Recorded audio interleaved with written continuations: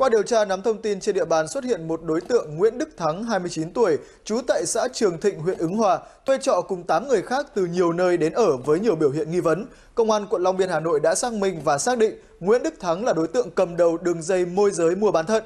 Cơ quan cảnh sát điều tra công an quận Long Biên đã xác lập chuyên án và triệt phá đường dây này.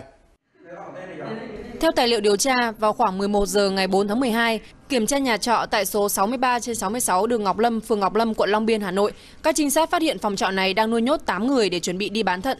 Khám xét tại đây, cơ quan công an còn thu giữ một khẩu súng bắn đạn bi, 200 viên đạn, 3 thanh đao. Tại cơ quan công an, Thắng khai nhận đã môi giới thành công được khoảng 15 ca ghép thận. Tất cả các ca bán thận, Thắng đều cho kiểm tra xét nghiệm và phẫu thuật ghép thận tại bệnh viện Quân y 103. Mỗi quả thận Thắng thường mua với giá 230 triệu đồng, bán cho người có nhu cầu khoảng 290 triệu đồng. Hiện cơ quan cảnh sát điều tra công an quận Long Biên đã khởi tố vụ án, khởi tố tạm giam bị can Nguyễn Đức Thắng về hành vi mua bán bộ phận cơ thể người.